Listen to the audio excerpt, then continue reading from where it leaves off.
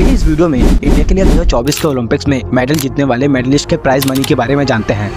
सबसे पहले बात करते हैं मनु भाकर की, जिन्होंने इंडिया के लिए शूटिंग में ब्रॉन्ज मेडल जीता है और इन्हें ministry of youth affair and sports के द्वारा 30 लाख की प्राइज मनी दी जा रही है। दूसरे नंबर पर है सरबजोत सिंह, जिन्होंने मिक्स शूटिंग में ब्रॉन्ज मेडल जीता है और इन्हें भी ministry of youth affairs and sports के द्वारा साढ़े बाईस लाख की प्राइज मनी दी जा रही है। तीसरे नंबर पर है नीरज चोपड़ा, जिन्होंने इस बार ओलंपिक्स में सिल्वर मेडल जीता है और इन्हें कितनी प्राइज मनी दी जाएगी, इसके बारे में ऑफिशियली कोई अनाउंस नहीं किया गया है। चौथे नंबर पे हैं स्वप्निल कौसले, जिन्होंने राइफल में थ्री पोजीशन में 50 मीटर में ब्रॉन्ज मेडल जीता है और इन्हें महाराष्ट्र गवर्नमेंट द्वारा एक करोड़ रुपए की प्राइज मनी दी जा रही है। पाँचवें नंबर पे है अमन सरावत, जिन्होंने रेसलिंग में ब्रॉन्ज मेडल जीता है और इनकी प्राइज मनी अभी तक ऑफिशियली अनाउंस नहीं की गई है। लास्ट और छठवें नंबर पे है हॉकी टीम इसमें हर मेंबर्स को 15 लाख रुपए देने और 7.5 लाख रुपए पर स्टाफ को देने के लिए अनाउंस किया गया है। इसके अलावा उड़ीसा के चीफ मिनिस्टर मोहन मांझी ने चार करोड़ का प्राइज डिफेंडर अमित बोहिदास और 10 लाख रूपए ईच सपोर्ट स्टाफ मेंबर्स को और 15 लाख ईच प्लेयर्स के लिए अनाउंस किया है। यही नहीं, पंजाब के चीफ मिनिस्टर भगवत मान ने एक करोड़ रूपए की कैश प्राइज मनी स्टेट के ईच स्क्वाड मेंबर को देने के लिए अनाउंस किया है। ऐसे ही और वीडियो के लिए आप चैनल को सब्सक्राइब ज़रूर कर सकते हैं।